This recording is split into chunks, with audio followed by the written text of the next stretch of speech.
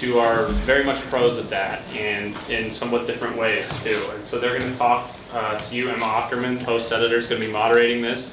Uh, this is the first um, event where we're bringing professionals to campus and part of what we're calling post sessions. There will be more of these throughout the year, and there are also post sessions uh, led by post editors and reporters um, that are going to be set up throughout the year. Watch for the Debbie DePeel uh, emails on those.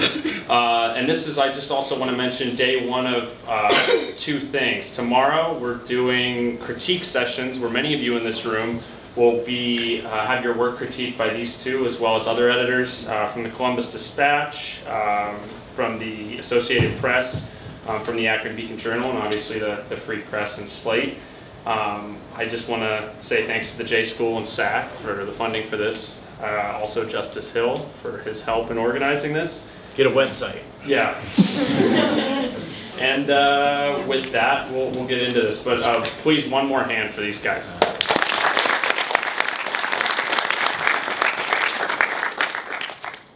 Hi everyone. Uh, Will pretty much said it all, but just to start off, um, Jim and Rachel, really like if you kind of just give an overview of your careers in journalism and why you got into journalism in particular. Um, wow, I decided when I was a teenager, I can't remember why, that I wanted to be a sports writer. So I was just, I was always a tomboy. I was never a cheerleader or dance. I wasn't very coordinated. So I was, I really wanted to be a sports writer.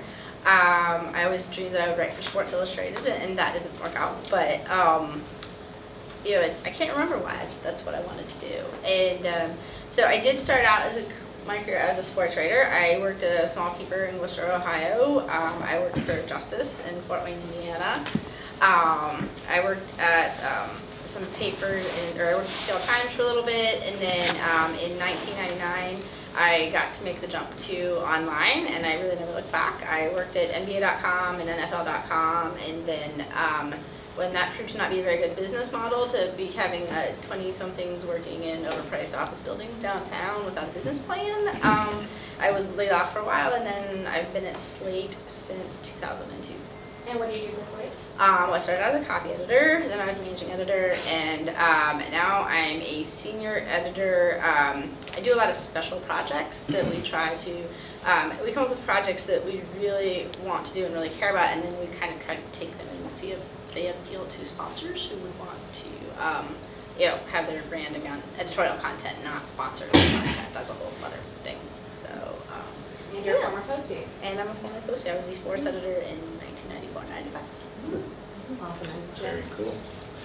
Um, First, I should say that it's good for me to be back to OU and to Athens. My uh, father is a graduate, good Bobcat. Uh, My older sister was an undergrad here.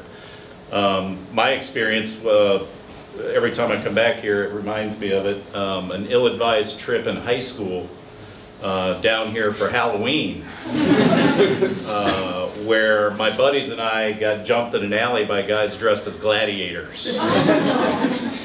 True story. One of my friends got hit over the head with an empty beer bottle and I had to go get some stitches.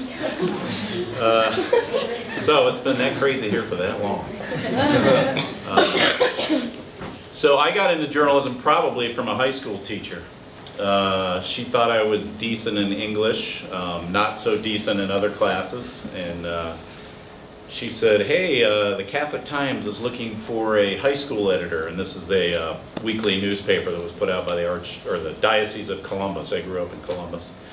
Um, and I said, sure, I'll do it. And I ended up doing it for two years, and uh, it was supposed to be a current events type column where I was writing about what was going on in all the Catholic high schools in our league. I did that for about two months, and then I decided I was just going to make an opinion column, and nobody stopped me, so I, uh, I did that, and I really enjoyed it. But when I got into college, I thought, I went to Ohio State, um, I thought I was going to be a psychology major until I started identifying traits that were troublesome in my friends and myself uh, through the education I was getting in psychology, and I said, I'm not doing this. Um, And I went and started working for the Lantern at Ohio State, and uh, if you guys are involved with the Post, that's probably the best thing you can do for your career right now, because I can't tell you how valuable my college experience was working at the newspaper.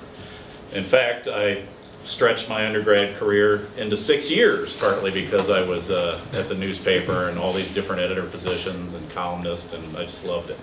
Because we had control of this huge machine that we could do anything with.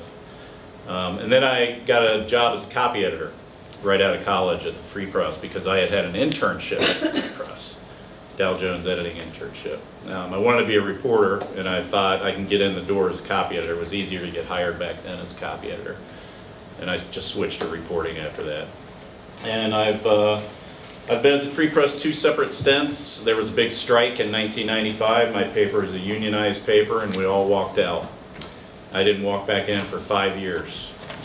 And in the meantime, I worked in television uh, at the ABC affiliate in Detroit, and I worked for the Toledo Blade for a short period of time, and I worked for a private investigator for a short period of time. And I, I went back in 2000, and I've been a reporter there ever since. Awesome. Well, Jim, um, my first question for you, and I guess you could have seen this one coming, is uh, you were a part of the two-man investigative team that exposed the wrongdoings of then Detroit Mayor Kwame Kilpatrick. Um, could you explain a little bit about how you got started on that project and a lot of the heartbreak involved in it? I'll try to keep it short because uh, I could go on forever about that guy. Um, well, I was a projects reporter and the, my partner, a guy named Mike Elrick, was the beat writer for the mayor. And uh, Kwame Kilpatrick got elected in 2002. He was the youngest mayor, uh, youngest person ever elected mayor in Detroit, age 31.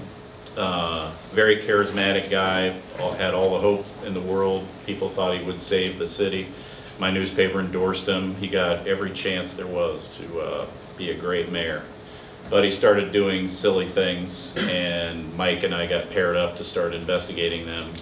And the story that won the Pulitzer wasn't, an- it followed six years of stories that we had done on him and how he was, you know, using city money for tax, uh, to, to fund his uh, trips out of state and overseas and staying at the best hotels you could po- possibly stay at. And every trip to a hotel seemed to involve also a $500 spa visit. Um, And he would rent limousines for four days and keep the driver the entire time, that kind of stuff. Um, And so we did stories like that.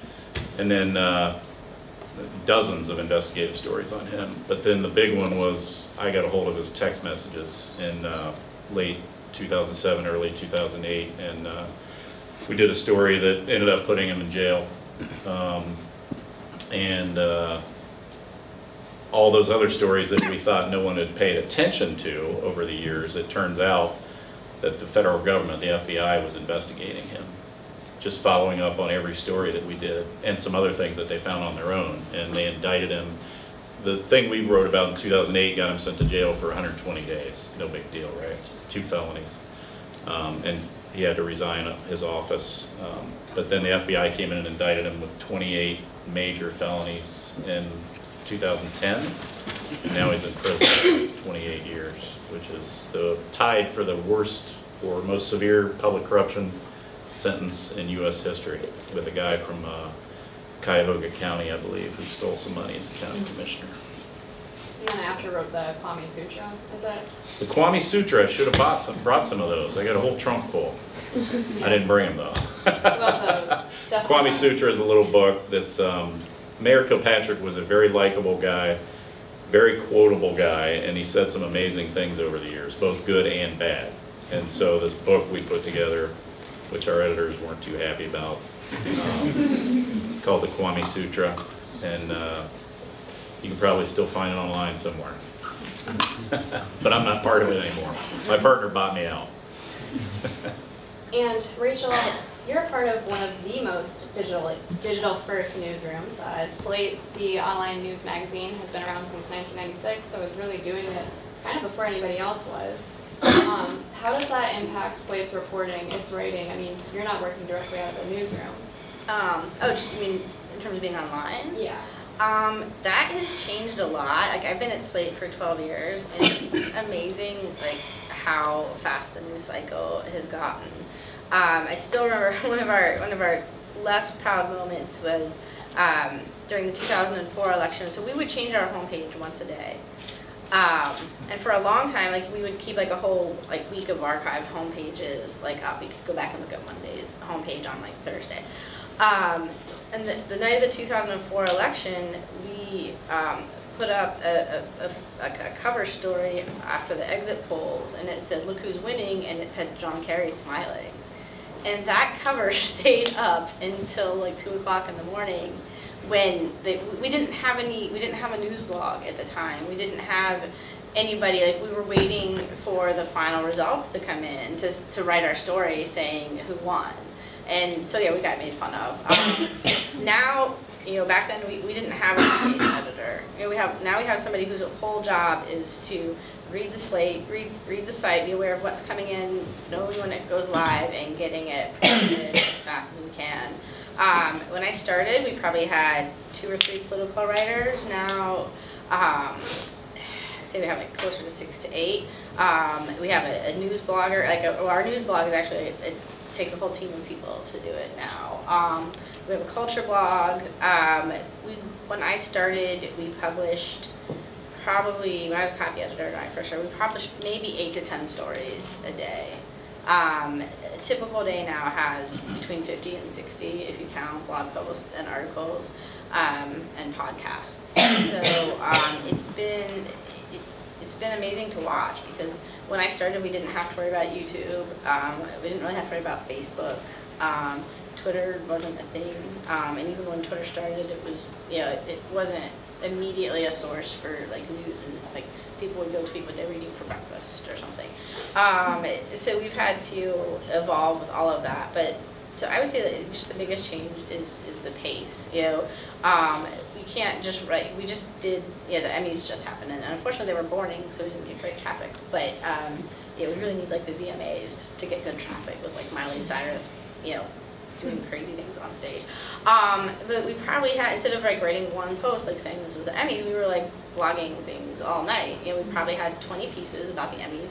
And whenever there was a little, like if something crazy happened, yeah, we would pull the video. You, you can do, you can take like a video of John Oliver, what he said on Sunday night, and write two paragraphs about it. And that gets like 100,000 page views. And then we have like investigative stories that people work on for like months. And we put them up for a day and they're lucky to get that kind of traffic. And so it's, yeah, the, but the pace is such that you kind of have to do that. So, um, yeah, it's gotten faster.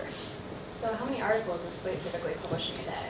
About, I would say like articles, articles, probably 20 to 30. Um, then we'll have like 10 to 15 posts on our news blog. The culture blog will have three or four. Um, our business blog will have four to six. Um, we have a technology blog. So, um, yeah, so yeah, we, we cover so much. We cover everything. We have, you know, we have a science editor. It's amazing. She's great. Um, so we, know, we have technology, we have science, we have healthcare, um, politics. It's not just news and culture. So, um, but yeah, so probably 20 to 30 articles, and then the rest are blog posts. And Jim, I have a web-centric question for you as well. Um, obviously, the Freep has gone through a lot of changes since you've been there, but according to uh, a recent Pew poll, apparently the Detroit Free Press cracked the top 10 for audience engagement for news sites in the country, um, which is really interesting for Metro Daily, um, beating out the Boston Globe, the Dallas Morning News. How has the Freep changed since you've been there, and how is it continuing to change to be more web-first, getting stories out as soon as possible? I had our executive editor tell me two days ago not to call, not to talk about the paper anymore. That's how much it's changed. They don't even want to have the language uh, that we used to, used to use all the time.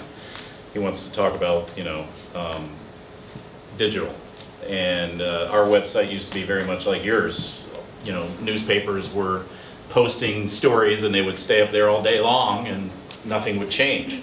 Now we're very interactive. You know, I have a, a, a pretty big presence on Facebook and Twitter and, um, you know, I don't like to tweet as much as I do Facebooking, but um, other people are on Instagram and Snapchat, things like that at our office. Uh, photographers particularly have really large Instagram follow, followings. Um, and so our website has become uh, very speedy. Uh, old school reporters like me are used to, you know, crafting stories and then having them revised and thinking about them. Now we're just cranking out two paragraphs like you are. And um, I like sports. Probably Buckeye stuff. Um, you know, we're, we're just cranking it out now, all day long. They do push alerts every 15 minutes, whether we have anything to say or not.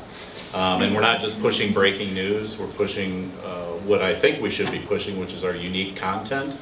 Uh, You know, things that we've created ourselves that you can't get anywhere else.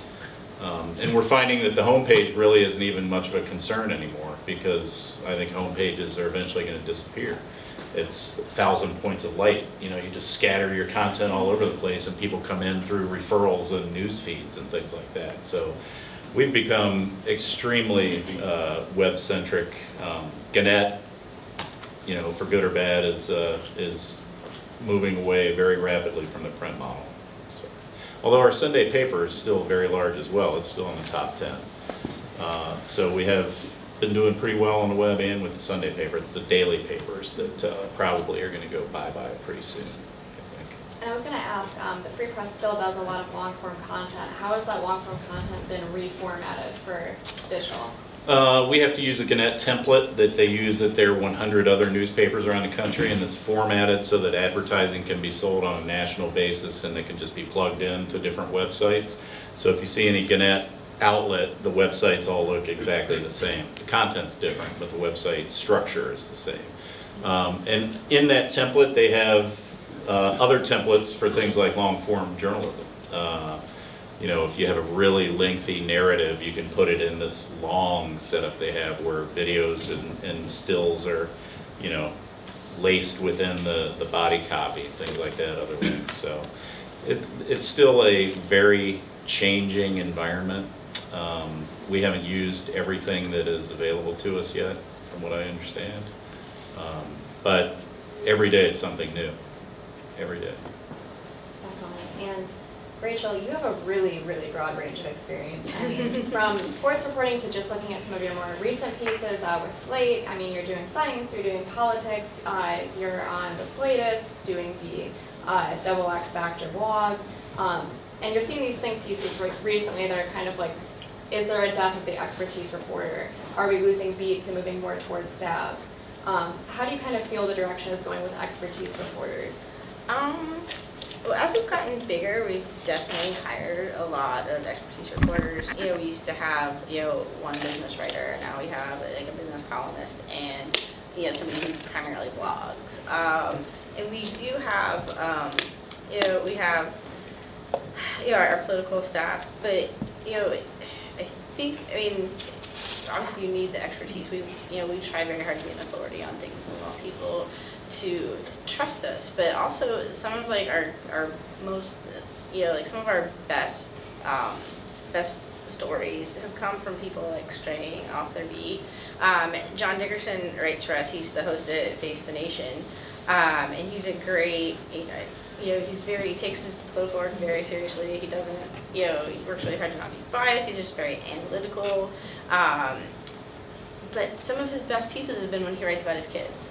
And they're just great pieces. Like he wrote one about, um, basically after the 2012 election, he had to, he was on the road for a year. So he basically had to get home, come back and get to know his kids again. Um, he's written about them going to camp. Um, Dahlia Lithwick is our senior court, or I'm sorry, our Supreme Court writer, and she has done, um, like, she's one of the, like, the leading, you know, writers on the Constitution and the Supreme Court in the whole country.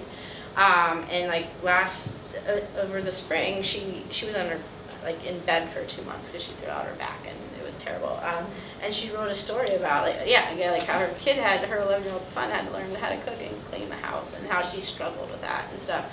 Um, so I think, I mean, you know, any serious publication is going to have an abundance of expertise, uh, abundance of experts. But you also, I mean, it can be helpful to their creative process and good for your publication if, if they branch out once in a while. So, um, And I mean, there are a lot of sports reporters in this room right now, and that's kind of the background that you had. I mean, should our sports reporters be getting knowledge in political reporting and business reporting? How much do we really need to know to hit the ground running as good journalists? Um, if you're going to be a sports writer, I would definitely take a few business classes. Um, I don't think I took very many business classes when I was here, but um, I mean, even I mean, there's there's business aspects that come up with high school sports, you know, and like athletic department budgets. Um, certainly in college, certainly in um, certainly in um, in professional leagues.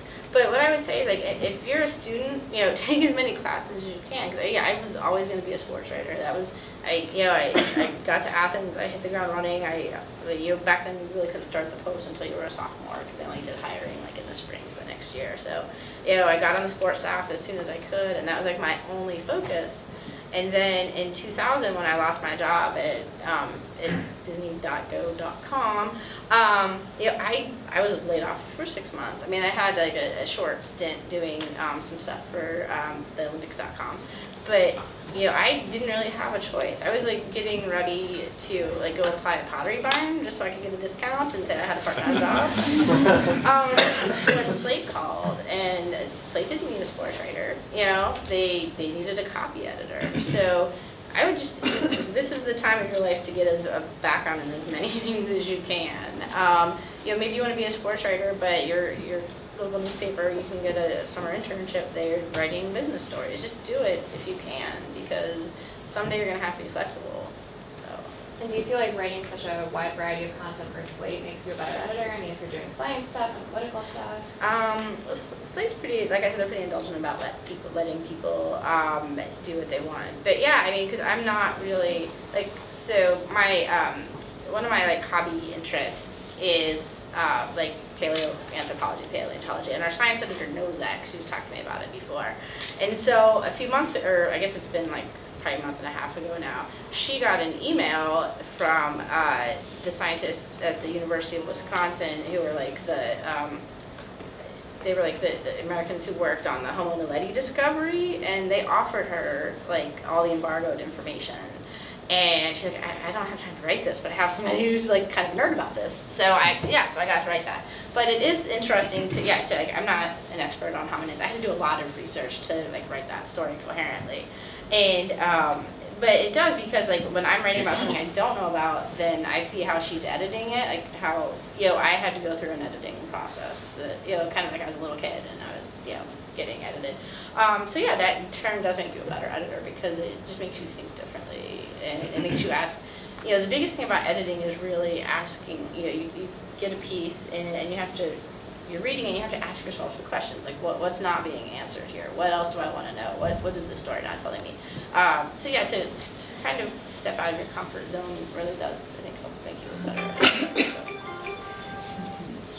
And uh, Jim, you're doing weekly columns for the Free Press that are published every Sunday. Uh, you can read his most recent one today, um, called Five Minutes With, and you're arguably spending a lot more than five minutes with a, a lot of curious people around Detroit. Um, really great human interest pieces. Can you tell me a little bit more about why you got involved in that and kind of, kind of how that differs from the work and data work that you've done? Guess what today's column is? I interviewed a guy who found a woolly mammoth on his property. Oh, I read about, I think that was in the Slate News quiz. It's actually a Jeffersonian mammoth that some readers have uh, corrected me on. But uh, the column is called um, A Few Minutes With, and it is a Q and A every week. Um, I started doing it, I don't even remember, it's like 10 or 12 years ago, um, because it was a release for me, because I do a lot of, was doing more than I am now, a lot of heavy investigative reporting. And while I like that, I also have a quirky side that likes to do writing and investigative pieces, you know, you don't get to write that much. You're mainly reporting and then at the end, you go through a flurry of writing to try to, you know, get it in for the weekend. Um, But this is what I like to do. I mean, I, these interviews are stories about people, you know, like, I, anything you can think of, I've done in, in the 10 to 12 years. Somebody was asking me if I've done any Halloween ones the other day, and I said, yeah, I did a haunted house on the west side of the state, and a woman who lives there, and I asked her why she wanted to do it, and they said, well, I'm struggling to come up with ideas now, so I, I usually go off the news, and the guy found a woolly mammoth, I'm like, I'm gonna go interview that dude. Um, And so I spent the day with him last Friday, the morning, and I did a video, you know, my column runs with a video every week that I shoot and edit myself. It's very low quality, shot with an iPhone, but that's the way the world is today. Um, You guys probably do that in your classes. I had to learn it on the job. But I do it because it's a release for me. Um, I got to interview a, you know, a very well-respected heart surgeon and got to ask him questions that people would want to ask but aren't rude enough to ask, like, what do you feel like when somebody dies in your hands? You know, I mean, and, and do you feel like God sometimes when you're saving lives? And you know, these are questions I wouldn't even ask as a personal person talking to this guy, but I get to go in as this obnoxious reporter and really ask questions everybody wants to know. So I try to think, um, what is it about this particular person that people always think about, but they never are rude enough to ask? And that's what I like the column to be. So it's a nice side thing for me. Some people think I spend too much time on it, because I like it, but I do. And how do you find those story ideas? Um, If I get in a jam, it's due every Thursday evening, um, I will panic on Thursday morning, and start Googling people until I can figure out somebody to go interview. Um, But they're so weird, like, you know, find a heart surgeon, find a dentist and ask him or her what, what it's like to drill down into somebody's tooth, knowing you might hit a nerve and, you know, send them flying out of the chair. So that it's very wide ranging. But I usually, I used to come up with the ideas mainly myself, but now that people are used to reading it, they suggest them. I get suggestions every week from readers, and they love it when I, when I do one of their suggestions, so. And I'll, you know, pimp it out on Facebook and say thanks to so-and-so for the idea and that kind of thing. My wife comes up with a lot of them. She came up with the woolly mammoth, not me. Um, So she's been very good about that, about helping me out, so have some other folks. And Rachel, uh, Slate really puts an emphasis on multimedia reporting. Um, you guys were some first to start doing podcasts, which have been really successful. How does that multifaceted storytelling approach kind of drive Slate? I mean, do you have to think of a lot of different ways to tell a story when you start pitching? Um, we do. We have that. We just had a conversation. Like, I'm, I'm, we're trying to put together a park, a package for the national parks for um, next year because it's the 100th anniversary of the, the Park Service. And again, our science editor who lets me write about um, dead people. Um, uh, is she's also into the park. So we were we went through like the list of stories we have, and we're like, is that better as a video or is it better as a as a story? And sometimes the answer is that it's better as a story. Um, but yeah, I mean, it's we always try to. If, if we're doing a bigger, like a longer form reporting, um, we call it, we have um, stories that run, well, as they get done, probably about once a month. Um, we call them frescas. It's a long, weird story. Our previous editor loved Fresca, and when he became editor, he announced the Fresca Fellowship was you could take a month off your regular beat and go write a, a story that you want, you know, that you're interested in. Um, and we've had lots of like we've had lots of investigative stuff. Um, we just looked at um, somebody who was like wrongfully convicted of arson and how his trial played out. Um, we did a big deep dive. One of our um, one of our more versatile writers who writes on politics and science and stuff, William, William Saletan, he did a big thing on the safety of GMOs. So we, we call those frescas. And pretty much if, if you get assigned to do a fresca, if you get your assignment, but there's going to have to be some kind. It's either going to have to have lots of images or it's going to have to be an interactive. I mean, we're, we're asking readers to invest a lot of time into these stories, and so we want to give them something. Um, in the podcast, it kind of grew organically. Now it's its own. We have like a whole side business called Panoply um, for our podcasting network, and we're we have our we have our Slate podcasts, but then uh, we offer like a suite of services to other um, publications. Like we'll help them sell their advertising, or we'll help we'll give them producers and you know and studio time and stuff like that. Um, that grew rather organically. We had started with the political gab fest, and then there's the culture gab fest, the double X gab fest, um, and it's like um, one of the coolest things. I, I still think one of my favorite things on site is something that never is on site. It's the gist, and we hired Mike Pesca away from NPR, and he does a daily podcast, and it's about the news of the day. He's got like a few recurring segments. Um, he brings on people from NPR and other and the New Yorker and stuff to talk. Um, but you know, sometimes he talks about the news. Sometimes he talks about um, you know uh, culture stuff. He'll do business stuff. He had on you know he had on some guy who was a biz- an American businessman living in Russia and basically like Putin came in and like took all of his like like he was an investor. He was doing hedge funds in, in Russia and took like 500 million dollars from him. And this guy like had to flee. He had to get out of Russia before like Putin killed him and his family. So um, it's just this wide-ranging show, and it's it's one of my favorite things on Slate. And it's not even a, a story. Um, it's a podcast. So um, yeah, I mean we just it's we, we come up with like mini, I, we come up with like ideas for like just short run podcasts all the time. I mean, Serial kind of set the, set the, people like, oh, you can do something for like six episodes. It doesn't have to be something that happens every week or every month. Um, so we've, you know, we've tried to, um, you know, we've tried to really develop the podcasts and they're, they're doing really well, so. So is a good reporter now also a good videographer, somebody that can get up, do podcasts, shoot their own photos? I mean, when you guys are hiring writers, are you also looking to make sure that they have those skills as well? Um, those are always a nice benefit. Uh, you know, we wouldn't hire somebody just, you know, we wouldn't hire a less talented writer just because they could also take photographs or shoot video. Um, but for the people who can do that, it's, it's fantastic. Um, we just had um, Jamelle Bouie, who's one, our senior political writer. He just did a big thing comparing Donald Trump to um, oh, the crazy guy George Wallace. the other crazy guy who ran for president 50 years ago. Um, and Jamelle took all of his own photographs, and he's really good. So there was a whole, there's this a gallery of like these really powerful like shots from a Donald Trump rally, and he did those himself. So um, I would say like, learn as much as you can. Yes, um, like I'm a terrible photographer. Um, actually wrote about that for Slate recently about how terrible a photographer I am.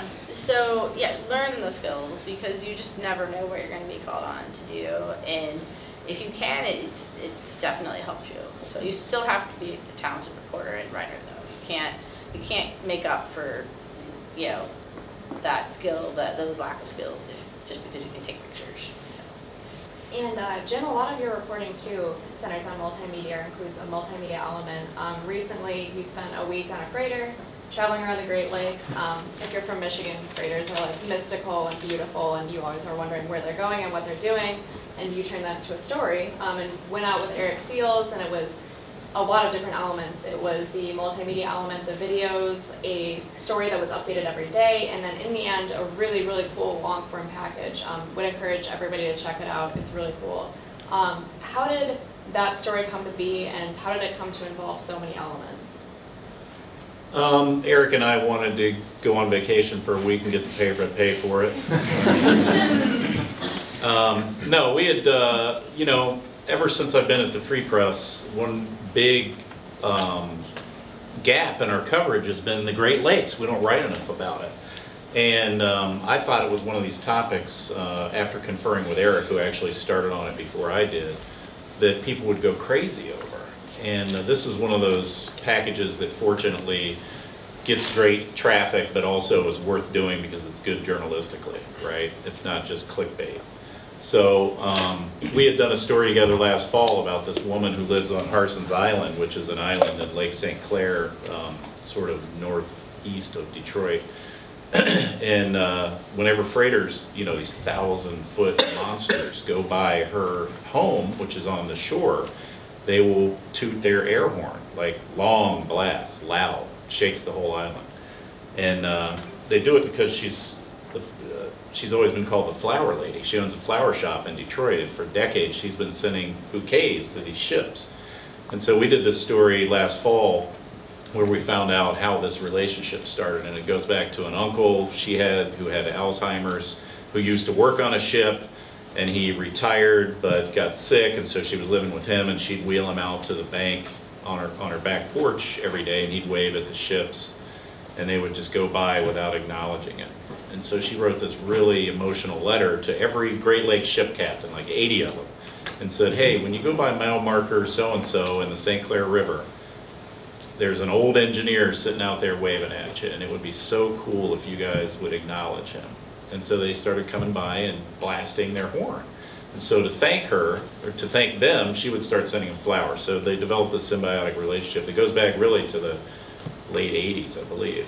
And uh, so we did that story, and it, and it was very well received. So we thought, you know, I always wondered about freighters, never been on one.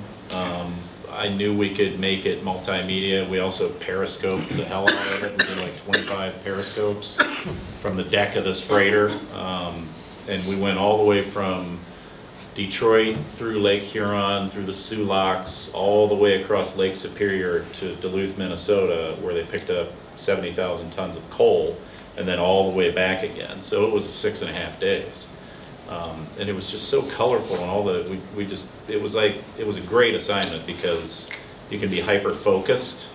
So you can do all this stuff like tweeting and, you know, writing blogs and periscoping and we were also writing print stories that would come out, you know, in the morning newspaper. Um, because that's all we had to do.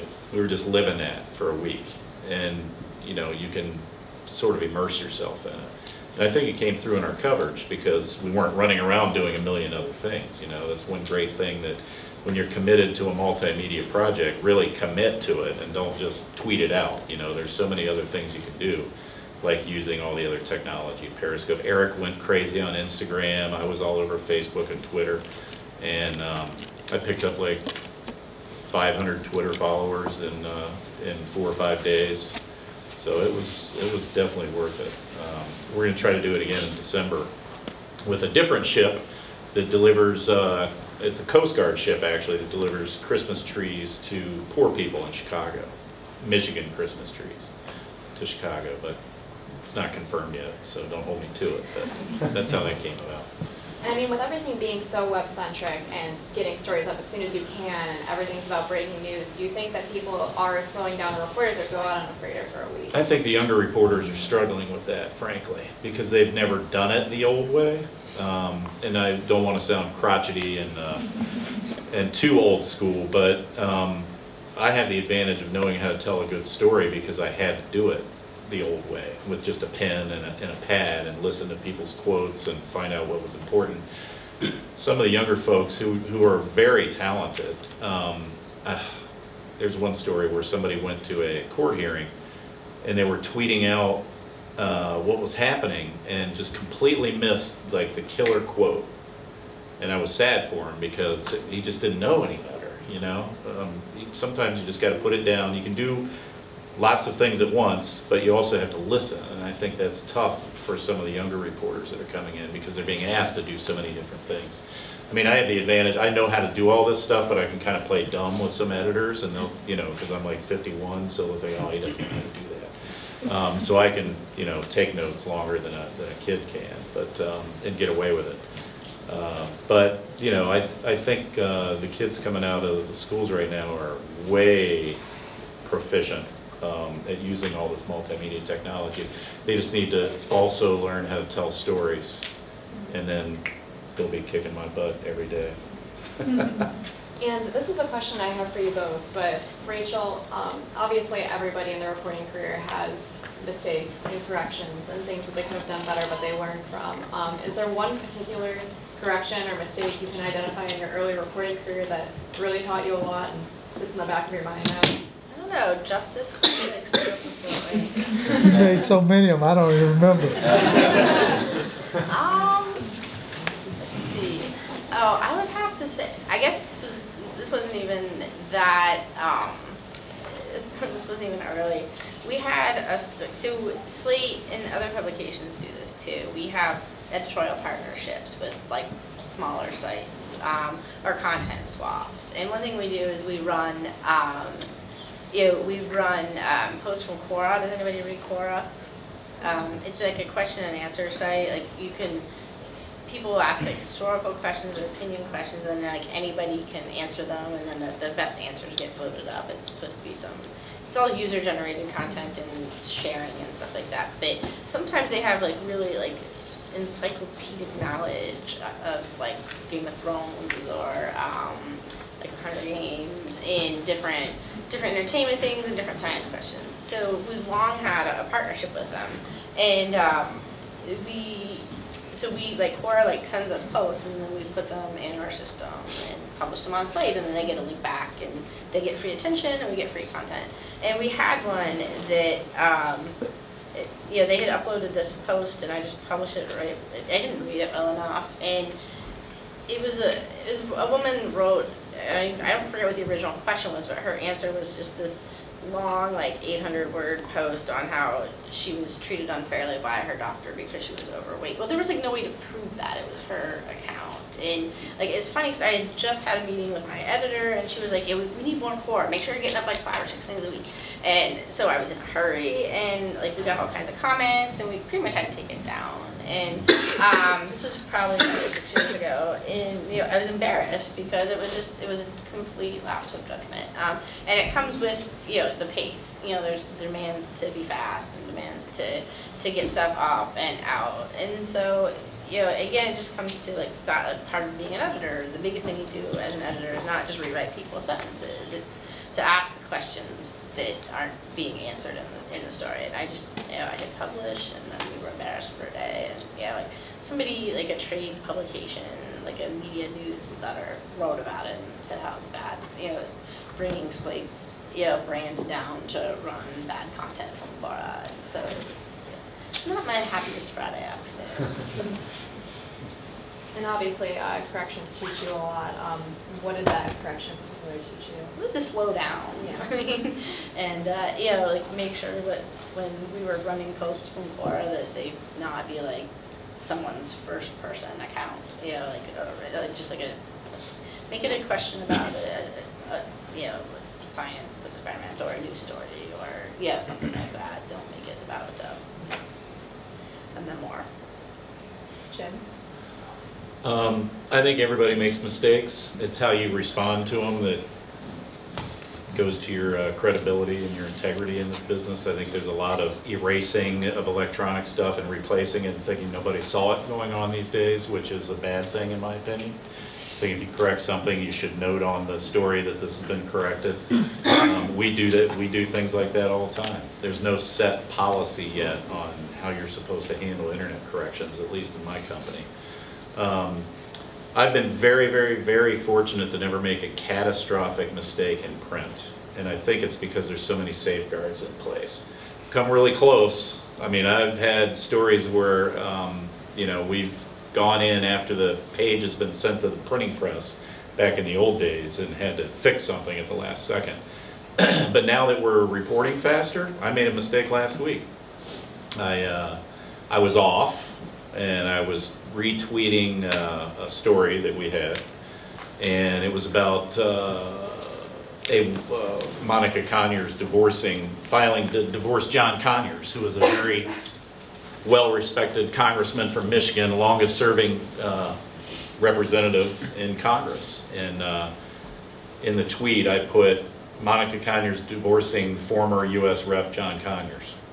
I don't know why, I- as soon as I saw it, I knew it wasn't right, but it was already tweeted. So I deleted it, but then I sent another tweet saying, hey, I fixed a, fixed the previous tweet, I took out former, because he's, he's still working.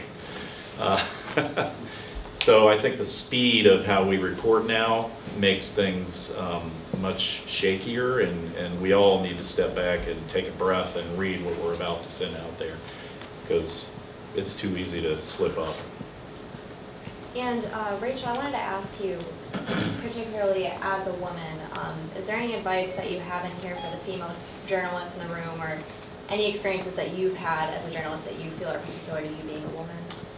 Um, I've always had, I, I haven't had any too many unpleasant experiences. Um, now, when I was a sports writer, um, like the worst part of going into a, a locker room actually was not going into the locker room. It was like the groupies outside that were throwing you dirty looks and like, why does she get to go in the locker room? Um, I didn't really have too many unfortunate experiences like that.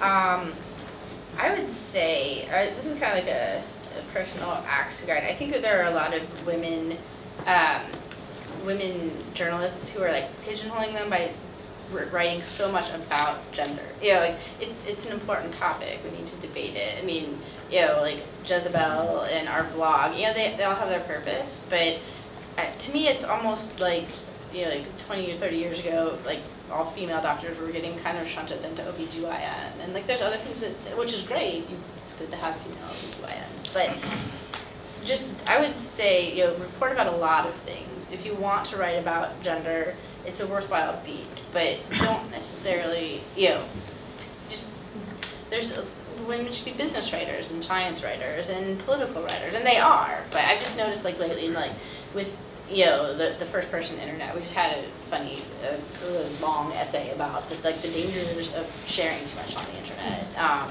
and I think women writers are more prone to doing that because there are so many, you know, like there are so many things that we're still trying to overcome is women, but we're kind of like so focused on like the gender beat right now that I think that women are just missing opportunities to tell other stories from a women's point of view, so.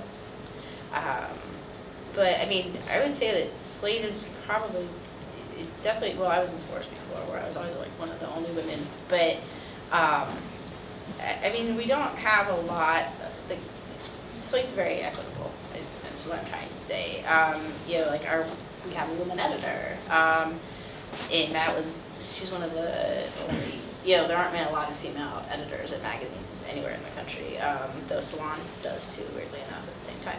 Um, so there's, we don't pigeonhole anybody into beats. I mean, yes, the women who choose to write about gender are choosing to do that, but we have men that write on gender for us. Um, and we have women writing about everything.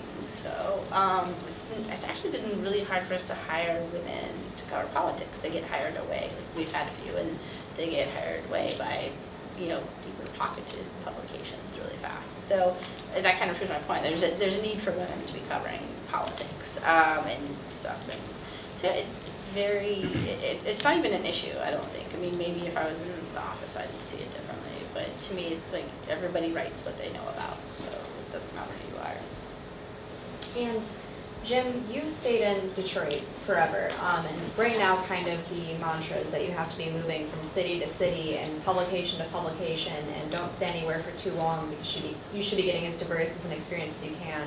Um, can you speak a little bit to why you have stayed in Detroit for so long and why you like reporting there? Because it's the best news town in America. It really is. I, uh, I'm not from Detroit. I, uh, Thanks to my good friend Justice Hill up there, I, uh, I got an internship at the Free Press when I was at Ohio State and ended up being a job a year later. Um, Lived with Justice for about six months. I don't recommend that to any of you. I had a uh, nice place, man. I don't know what you're talking about. Don't I still owe you money or something? Probably. Uh, But I was gonna be there for five years, and uh, I started covering the police at night in the city, and I saw things that I had never seen before. um, And I just, it just stuck with me. I mean, it's a place that really needs journalists. Um, And I'm still there uh, for many reasons, but one of the big reasons is because um, I feel like I'm doing uh, what we all get into journalism to do there, uh, which is give a voice to people who don't have a voice and write about problems and hopefully uh, get somebody to fix them. Um, And it sounds cliched and cheesy and sappy, but it- you really can do that in journalism. And Detroit needs way more journalists than they have right now. So um, I never really pursued anywhere else. And I went into TV for a little while, and that was cool. Um, But I got a great job back at, at the Free Press. I mean, I may have to look for a job sometime in the future with the way the job cuts are going and things like that. But um, it's, I love working there, and I have a great job. Uh, Luckily, we're in a room full of journalists, so I'm assuming there are some other questions to be had.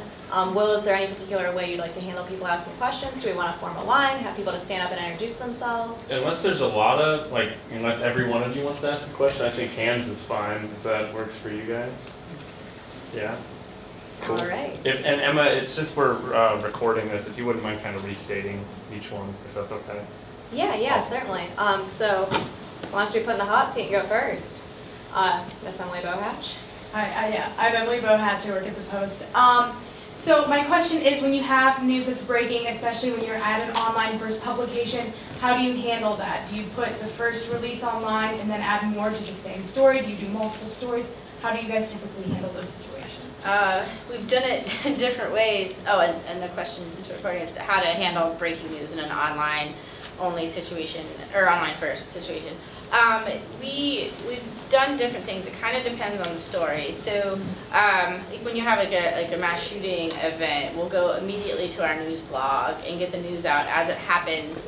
Um, and we'll have like one post that is just the breaking news that is updated constantly. Um, and that buys us time to have the, the more deeply reported stories go up like, th- or, you know, uh, maybe two or three hours later or the next day. Um, if something, if there's a story that happens and there's like some weird new development that's apart from, you know, the, the actual breaking news, we might break out a separate post. Uh, but the idea is to have, you know, the, the news blog goes up first, information as we have it. Um, we update, we don't like do strike through or anything like that. Um, so as like information changes, we don't delete what's, um, what's been put there before. We'll acknowledge, so I know like with the, the shooting in Oregon a couple weeks ago, um, there was, the New York Times really early jumped on the religion angle, like the rumor that the shooter was asking people if they were a Christian. And then they took their story down, and we had linked to that. So what we did was we, we left it all in there and said the New York Times took their story down and that we didn't know anything yet. Um, and so, and then, that would be like the first day. And then like the next day, we'd like start a new post with more, and then we backfill with our reported stories and our analysis and stuff by your more senior writers. And we would do it in a similar way, except we don't do a blog. We would start tweeting it, and then the reporters at the scene would tweet, and the paper would retweet them and maybe aggregate them all onto our website in a Storify or whatever program they're using these days to do that. And then uh, somebody on the web desk, which they call the hub, would probably write a paragraph or two unless somebody's dictating from the street or with a laptop or just doing it on their iPhone. And then, uh, you know, we would append to it as the story goes. We would keep promoting, you know, come back to freep.com for more information as we get it, that kind of thing. So a lot of promotion, a lot of quick bursts of information. Thank you. And we Periscope. Um, Several reporters are doing that from the paper there. Yeah? Um, My name is Max McDoolin, and uh, I was just curious, you, um, Rachael, you brought up page views and and clicks, uh, and uh, and then Jim, you brought up, you know, trying to, to spread out your content and and reach a broad audience. Um, In a landscape that's so driven by the digital world, um, what have you guys done to try and and continue to create stories that have good content while still driving people to go and read the story. Because I feel like sometimes we're so focused here at, at WOUB in a meeting, we'll bring up, hey, pat on back to this guy, he got 2,500 page views. But we don't always bring up, hey, great story. You know, it's more about the clicks than it's about the story. So what do you guys do to make sure you still bring great content and being good storytellers?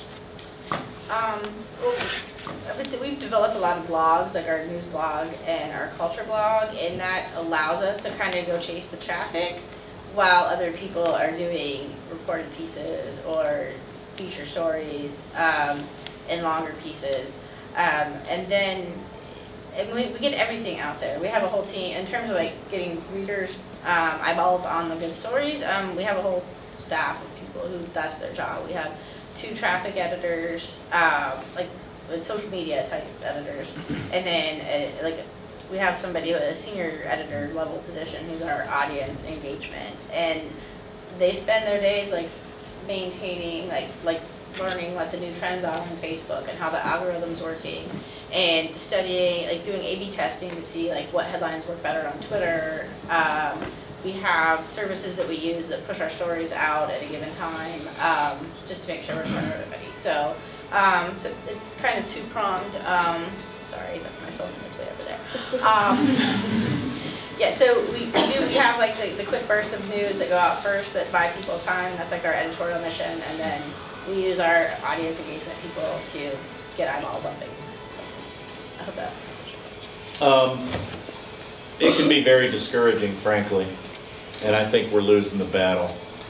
Um, When somebody at my paper uh, two days ago complained that the local content was being overshadowed by the black whopper that turns your poop green, um, that can make, that can make you feel like, why, what am I doing?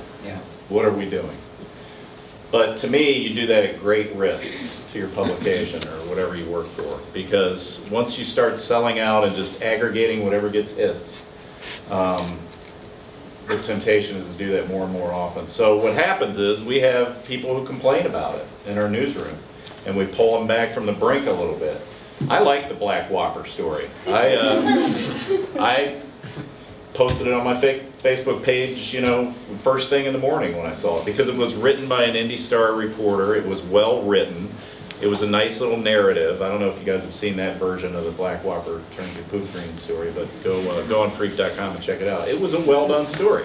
So in that particular instance, I think people complaining about it were wrong. But Kim Kardashian stuff and, you know, whatever's going on with other celebrities is very disheartening to see get better play. Um, When we complain as reporters, sometimes we're told, you need to get over this where things are played on our website mentality. Because ha- only half of our readers are seeing the website. It's where you are everywhere else on social that draws the, the viewers, and so you shouldn't worry about it so much.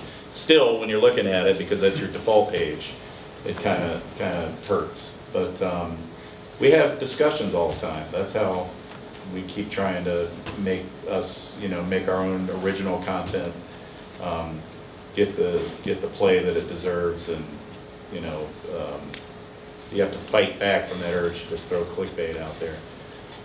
If you don't, if you're not highlighting your original content, I think you're, uh, you're losing, you're gonna lose eventually, because anybody can be an aggregator.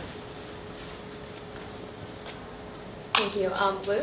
Uh, I'm Luke O'Rourke, I'm a sports reporter for the Post.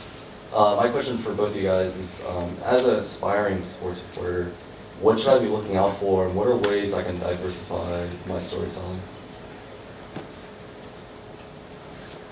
So uh, the question was how, as a sports reporter, do you diversify your content and what should you be preparing for if you want to get into the field of sports reporting?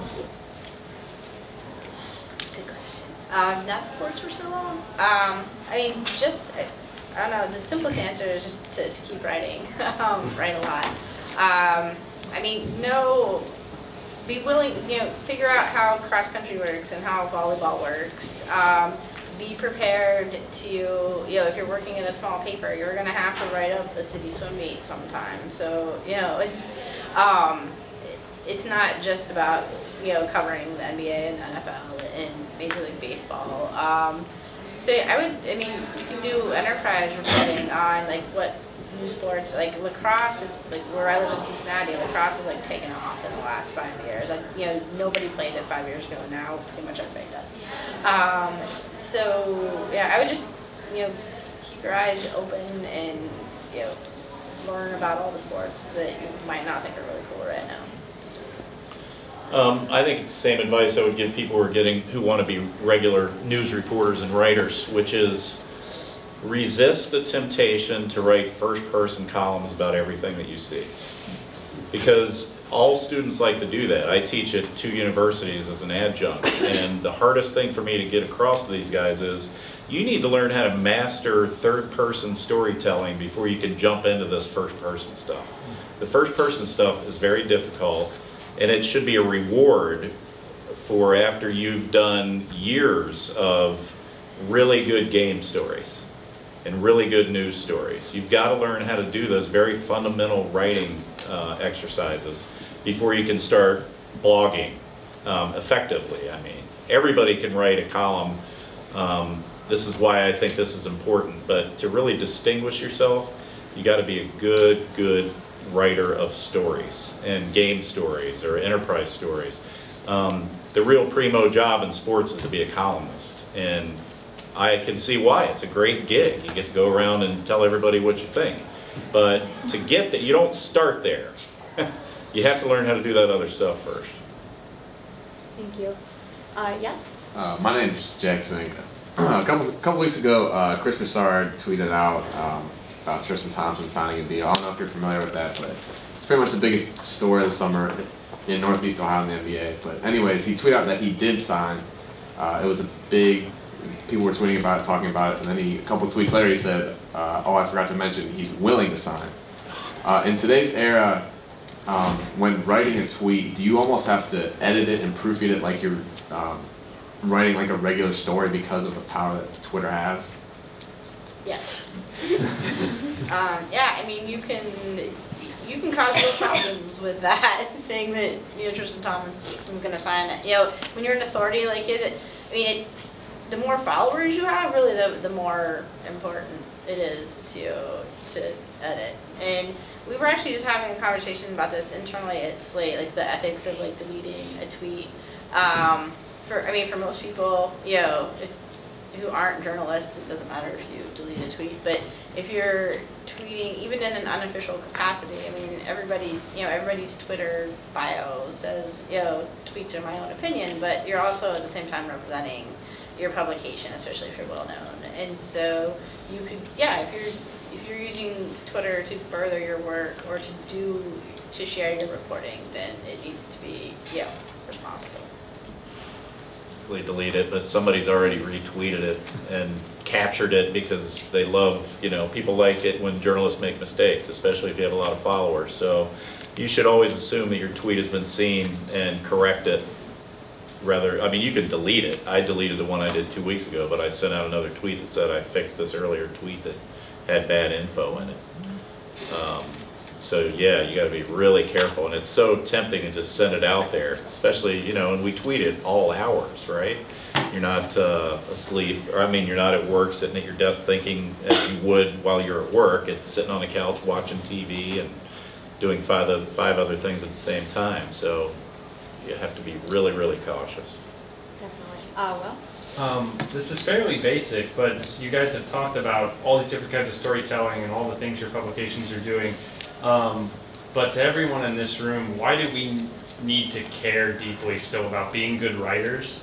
Um, and I don't know, what, what one or two specific points of advice might you have on, on that, if that makes sense?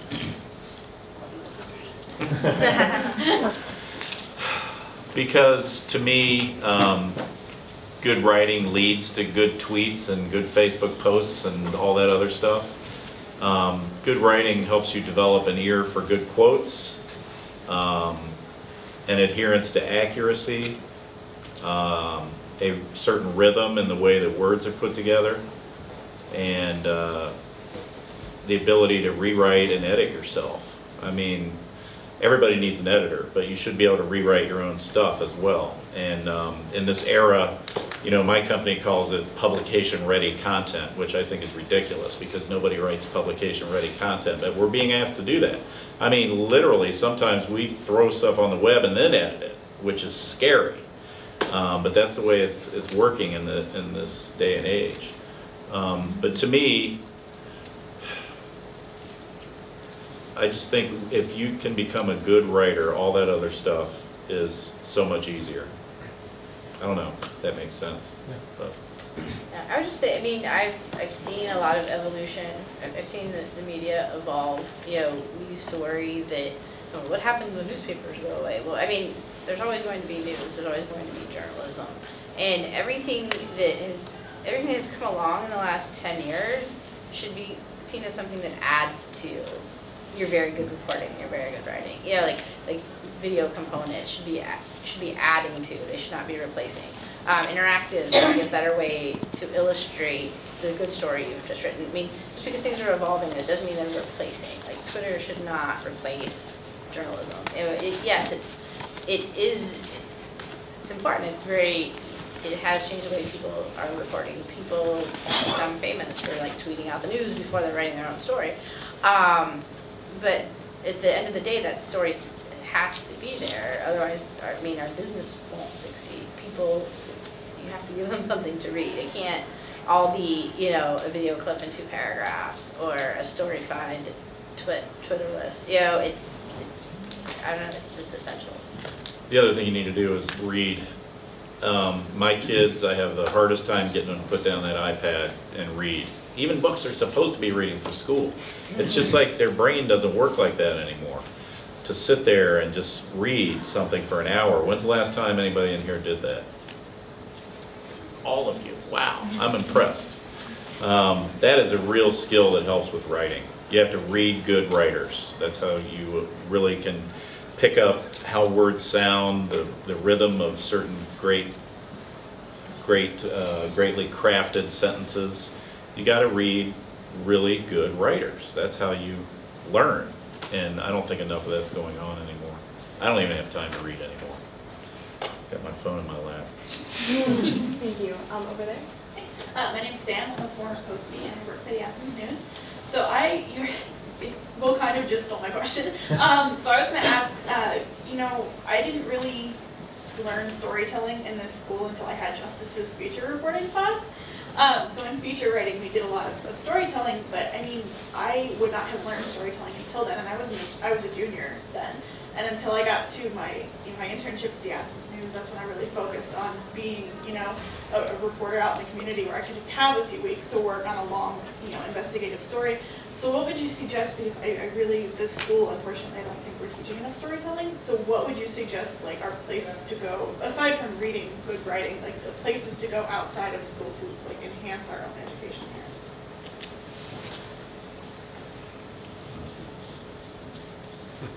Um, what, what did Justice say? Have a website. Um, I mean, you can, if you want to be, if you want to be a, a storyteller, I mean, are you asking like how to get freelance opportunities? Or? I mean, I just, how to bulk up, I mean, I feel like a lot of people who, who go here don't really get the opportunity to bulk up like their, their core storytelling skills, so just where to reach out for that. Yeah, I mean, I, I would say consider stories that you want to write and, and do, try to pitch them to like smaller publications. Um, or, you know, make your own website and just do the story and put it out there as, as your own work. Um, I mean, there are, like, people use Medium for that kind of thing.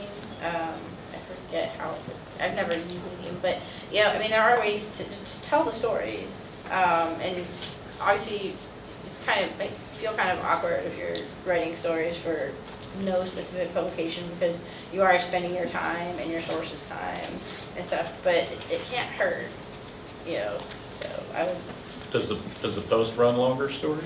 We do indeed. Okay. Um, But I, I'm, that's what I was getting at earlier, I don't think you guys have enough opportunities to do that. And so you graduate all- with all these multimedia skills, but where do you learn how to put a long story together? Um, I think you need to find mentors like him.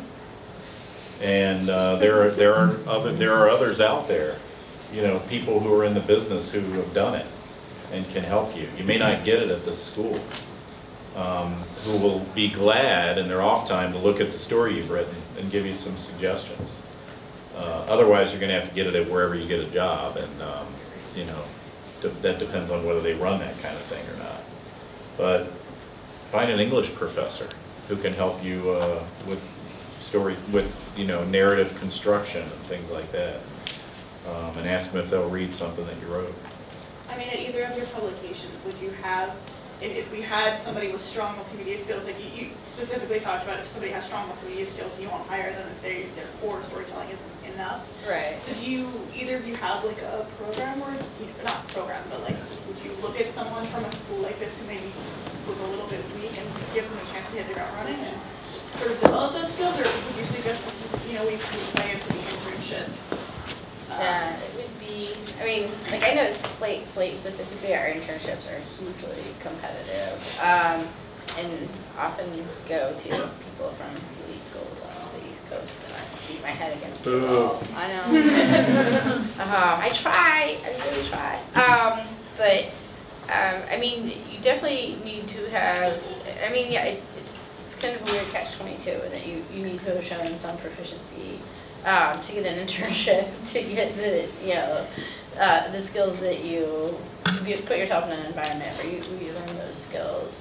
Um, so, I mean, it's just, know, we're always looking for, I mean, honestly, if you're trying to, like, get the good internship and stuff, you, you really have to sell yourself, and it's not just your clips, it's like the, you know, it's, and not just your resume, it's like how you come across in like your cover letter, and just, you know, if you can tell a good story about yourself, then, I mean, if you can't tell a good story about yourself, then, you know, places are going to trust you to tell a good story about other people, so, um, I mean, I, yeah, I feel like, I feel like, you know, Justice says, build a website, I just say, write, you know, just write, even if it's not for a publication, you're gonna get better. Um, work with your, start a writing group with your friends, you know, your fellow students, where you write, you know, stories and you just share them with each other and critique them and that you edit each other.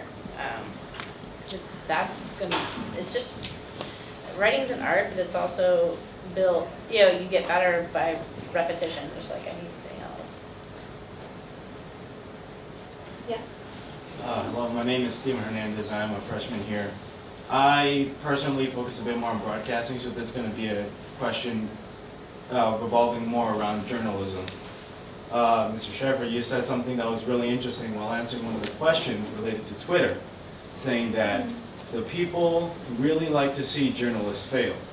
And I really like what you said because you, you two are really big people in journalism in general, at the forefront of Slate Magazine, you have your own, Mr. Schaefer, you have your own Wikipedia page. You have, you have, you have a, Thanks, Mom. you have a, you have a Pulitzer Prize under your name, which is something that I believe everyone here aspires to attain someday. So, and with all your experience and all the stuff you've been through, do you think that the attitude of the people towards journalists has changed? Or how do you guys feel with the people around you? And has it changed at all once you guys eventually made it to these positions or attained these things that have credibility to them? Um, I think it has changed, and I think it's because we're grouped in with everyone. Uh, because it's so easy to publish. You know, newspa- newspapers used to be able to print money because it was very difficult and very expensive for people to get their story out there because they didn't own a printing press. Now, you can do it with a, with a keystroke. And there are a million people calling themselves journalists. So, um, I think the image of the media has continued to go down. And I do think um, the internet has highly politicized journalism. Um, We're all seeing, those of us in the mainstream media, they even have a name for it, mainstream media. That never used to be a, a term until, you know, 95 or so. Um, And we're all seen as left-wingers, so they're, uh, waiting to see a mistake happen.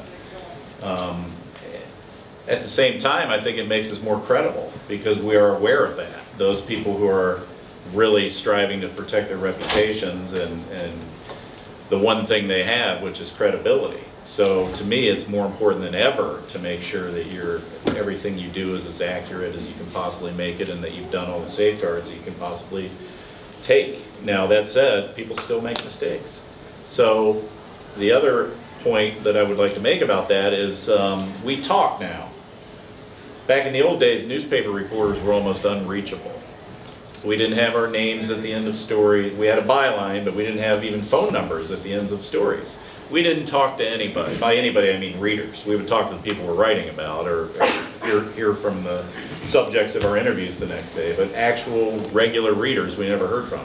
Now they can post right after the end of your story and say what an asshole you are. Um, and so we're immediately accountable to people. And I like that because I love getting complaints from readers. Um, because I can always turn them into a loyal reader in the, in the space of a telephone conversation or an email exchange or something. Because I think a lot of people are still in that old mindset. I'm firing off this angry email or post about somebody and they're just a robot and they're so busy they'll never respond. And they respond and they're like, whoa, there's an actual human being on the other end of this who wrote that story. And so I like that interaction now. And to me, um, it has changed dramatically. It's completely different than it was even 15 years ago. And I think it's good because it makes us strive to protect our reputations even more because there's so many people out there shooting arrows. I think you covered it. Yeah. Um, yeah, I, it's, people do want to see us fail, um, but we're, you know, we're visible. I mean, our names are out there, our faces are out there in a way that, you know, we're not famous people to the rest of the world, but, you know, because you're so visible, you know, nobody, like if you work at a, a corporation, you know, you're, if you're in customer service, like, you might have to share a name with somebody, but you're not, you're putting yourself out there, like, so we're in a weird position where we're putting ourselves out there and not asking for it, but so visible. And yeah, if you write something that people don't like or, or it's like schadenfreude, you know, they mm. they want to, to see you up. So just, just be careful, you know, always as, as fast as the pace gets, you know, just slow down and think twice. And...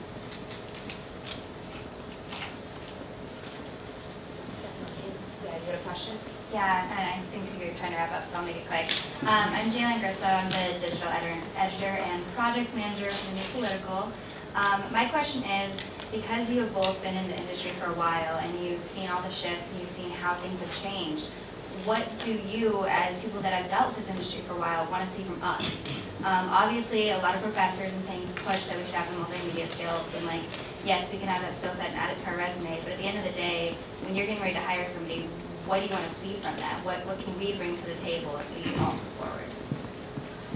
Um, I would say like doggedness. Um, I, from what, to be specific to OU, what I've seen from like the, the graduates who leave from here and are like immediately successful and get the cool big jobs that get them invited back here to talk and stuff, like OU students have a great reputation for working, like Scripps students have a great reputation for working hard. Um, you know, so, you know, they're, they're tireless. They will, you know, they will make the extra phone call to, to fact check. They will, um, you know, get a fourth source instead of two or three. Um, they will learn new skills. Um, they will, you know, they will master social media like on the fly because, and that will help them get a job. Um, so it's just, it's really just, just show us that you'll work hard and not expect, you know, to get promoted and, you know, like, don't try. Did anyone see the Saturday Night Live sketch about the millennials? Yes, yes, that drives us old people crazy. Um, yeah, like, I, I do, like, we, I do see like a lot of young people I know that, that work at Slate, they do, they need feedback and they need rewards and, you know, that, that participation thing. Um, so just come in and work hard and prove yourself through your work. I don't hire anybody, I'm just a rank and file staff writer. Um, But I can tell you what I'd like to see in a colleague, and that is doggedness, um, versatility, perseverance, and um, somebody who has enough self-confidence to say, I'm not just chasing web hits. Okay? This is a story we have to do that's very important, whether it gets web hits or not. And lastly, a um, healthy disrespect for the bosses, or suspicion, either, either one of those two. Good. All right, guys. Well, I, I just want to say thank you again for coming out. These guys will be down here. Also, Ken Gordon, Mike Merritt, and Dave Scott are here, and they're going to be some of our editors here tomorrow. They'll be down here as well, so feel free to ask questions, introduce yourself. One more round of applause. Thank you.